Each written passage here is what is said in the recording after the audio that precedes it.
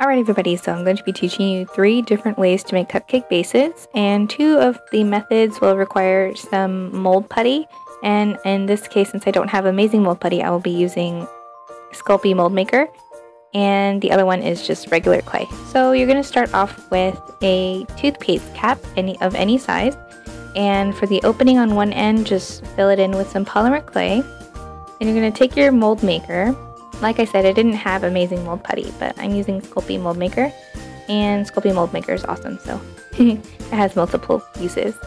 So you're going to go ahead and open up the package and take out a chunk of the mold maker. So you're just going to go ahead and cut a little piece of that, and you don't really need too much, and you're going to need that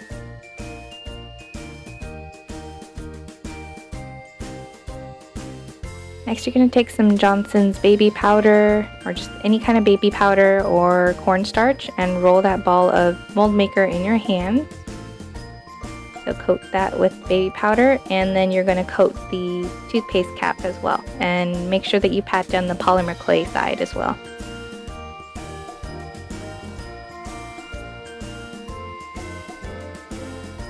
Next you're going to go ahead and form the mold maker around the toothpaste cap and you just go ahead and pull it out and there's one way to make your cupcake base.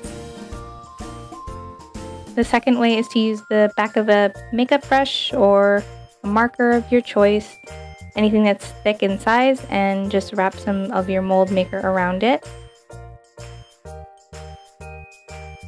And it's up to you how high you want the mold to be. Make sure that you flatten the bottom go ahead and pull it off. So once that's done, you're going to take your needle tool and create some indentations within that hole that you just created.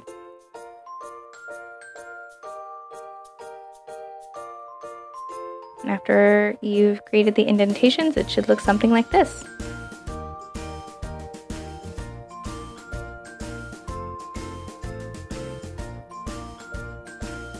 Now the last way is to use some uh, polymer clay and you're going to roll it into a cone shape and make sure that you flatten one side, um, the thicker end.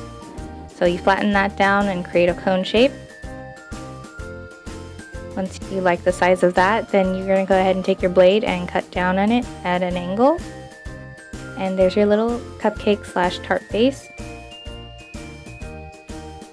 Then take your needle tool and again create some indentations along the sides like so. So I hope you guys found this video helpful. Don't forget to leave a comment down below. I'd love to hear from you guys and thank you all so so so so much for watching. Bye!